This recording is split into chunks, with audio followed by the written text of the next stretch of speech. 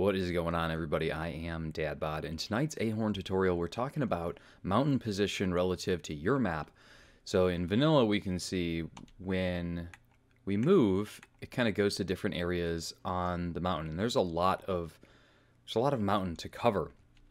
But if you don't have this position it kind of looks like this where it just goes to a spot and it almost looks like you're clipped into something.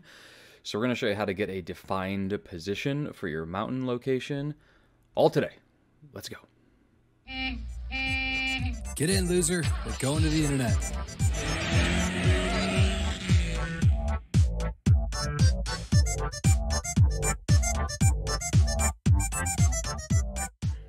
All right, so first things first, in our map package, we are going to go into maps, and then the name of your campaign. Essentially, we just want to get to the, the directory where your bin is located. And if you do not have one yet, we are looking to create a meta YAML. And if you look at the format that I have here, it is just the name of my bin dot meta in lowercase dot YAML. If you watch the video on creating the custom end screen, you already have one of these. If not, let's create one right now. All right, the first thing we're going to talk about is getting a specific mountain location that exists in vanilla. And I'm actually going to just be reading a lot of this from the wiki off to you. I know that um, me personally, I was just too lazy to actually go and read it, or some of the things just didn't, I didn't understand really well. But initially, we are going to have this line of text here, and I've linked the direct page for this in the description. So we're going to copy this and we are going to move this on to the meta just like so. And we can see that when we save this now and reload it, that's pretty cool. Now you can see that it's doing a couple extra things. So let's read up what everything means and then show you how to pull from vanilla. So directly from our useful, useful wiki here. We have a couple things. Obviously, it says mountain, idle, select, position, target, zoom, cursor, state, show core, rotate.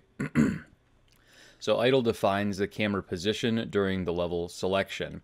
So that is the position and then where the, where it's targeted.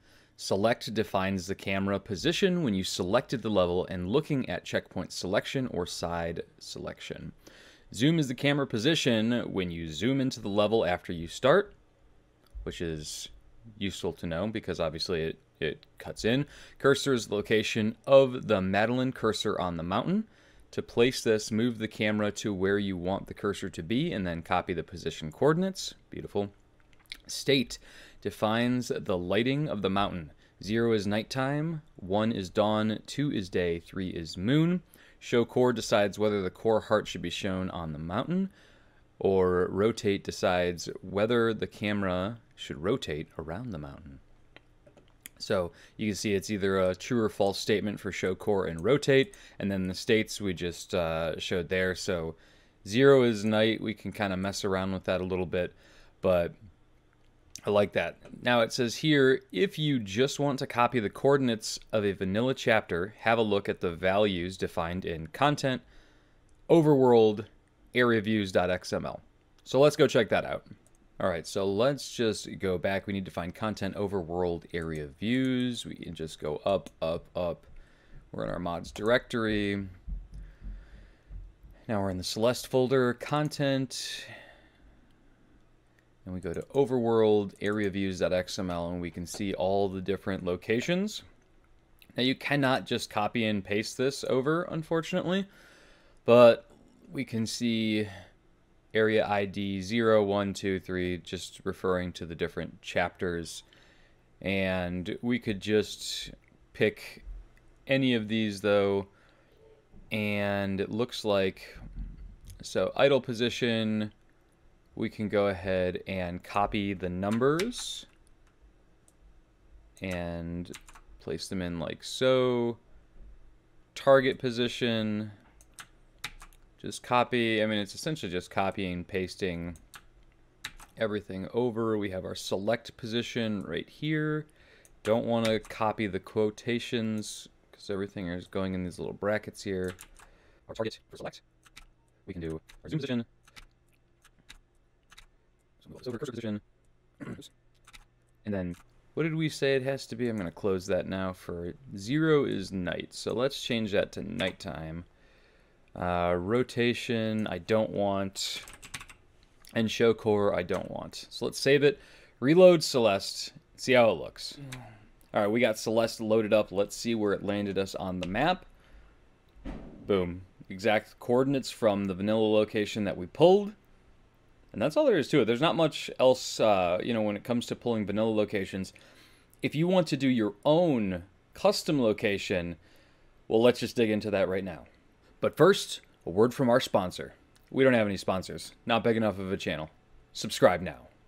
All right, so when we are on the map here and we have view of the mountain, just by pressing the space bar, it gives us our position and our target. With WASD, we can move left, right, up, down. With Q and Z, we can move higher or lower. And with our mouse, we can click and look around. So we can move in and zoom in on just pretty much anything that we want. We can zoom, unfortunately, way lower than we're supposed to.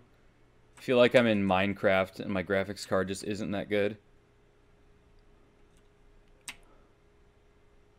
But this allows us to move around anywhere that we want, get as close as we want, just do pretty much anything to get the correct location.